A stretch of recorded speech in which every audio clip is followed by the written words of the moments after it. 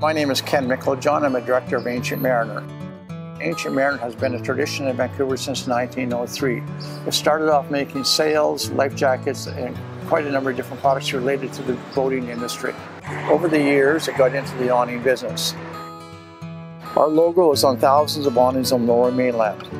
We re receive calls on a regular basis from customers because they notice our logo and looking for prices for new awnings and a recover. Today we're standing downtown the corner of Robson and Thurlow.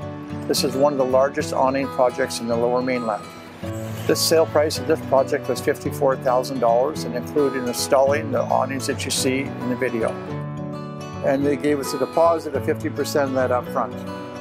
These awnings are made out of steel and they're all powder coated silver. They're covered in a black umbrella fabric.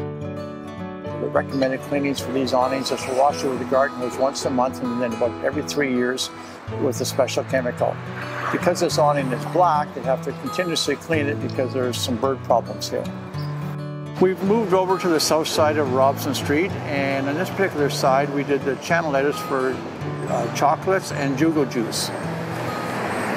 Daniel's Chocolates channel letters were $3,348 and including the engineering and installation. Jugo Juice was slightly less at 2,900 and that also included the engineering and permits.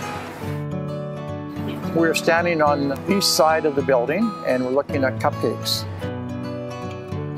We did the channel letters here. Uh, sale price of these channels were 3,338 and they're 18 inches high.